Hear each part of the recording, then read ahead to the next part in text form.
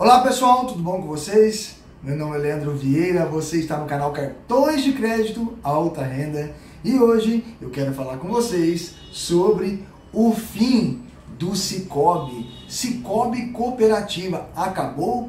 É o fim mesmo, como foi falado na matéria? Todas as redes Cicobi foram extintas? É sobre este assunto que iremos tratar aqui no canal hoje. Gente, muitos inscritos do canal me pedindo para que eu falasse desse assunto. Bem, deixa eu esclarecer antes de eu ler a matéria para vocês. Não foi a rede inteira do Cicobi que acabou. Foi apenas um grupo, né, um cooperado na cidade de Americana, interior de São Paulo, que foi extinto, saindo aí com uma dívida de 114 milhões associados, tá? Então, somente o Cicobi da cidade americana. Vamos dar uma olhadinha na matéria. Cicobi é extinta e deixa prejuízo de 114 milhões a associados. Incorporação da cooperativa de Americana por outra sociedade prevê o rateio da despesa com associados em prazo de 15 anos. O Banco Central determinou no início deste mês a extinção da Cicobi Unimais, Bandeirante, cooperativa de crédito dos médicos e demais profissionais da saúde, pequenos empresários, microempresários e microempreendedores com sede em Americana. O órgão aprovou a incorporação dela com seus direitos e obrigações.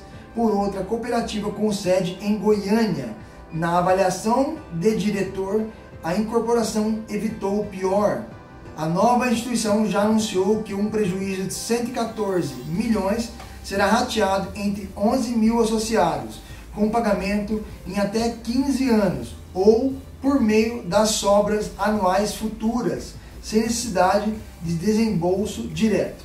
Fundada em 1999, a Bandeirante contava com 15 postos de atendimento nas regiões de Americana, Piracicaba, Botucatu, Assis e Ribeirão Preto.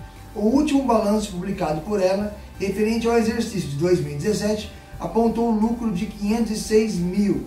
O relatório sobre 2018, que deveria ser divulgado até abril deste ano, já estava sob responsabilidade da nova cooperativa.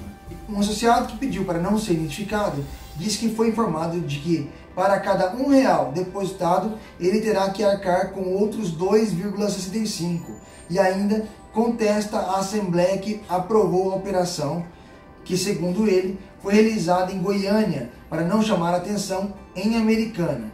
Cooperativa pode dar lucro ou prejuízo e ambos se dividem entre os associados. É normal, mas prejuízo agora parece ter sido gerado por operações atípicas de crédito. A diretoria acelerou o processo de incorporação através de uma assembleia na surdina e está se ocupando de omitir informações sobre o que levou à quebra, disse.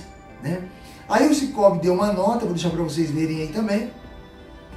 Bem, o Liberal, que é o site que nós estamos lendo aqui, tentou ouvir os médicos Armando Lazares Fornari, presidente do Conselho de Administração de Unimais, Bandeirantes até extinção, mas foi informado que ele se encontra em viagem internacional e só retorna ao Brasil no dia 15 de março.